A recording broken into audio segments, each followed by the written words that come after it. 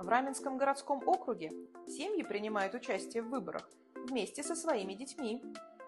Руководитель Раменского отделения молодой гвардии Илья Гаврилов пришел на избирательный участок вместе с женой и сыном.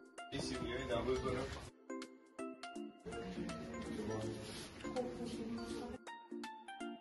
Тимофей с интересом разглядывает обстановку на избирательном участке.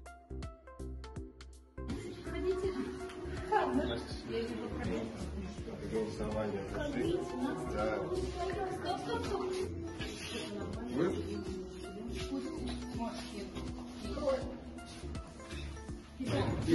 Держи. Вот туда, вот. Спасибо.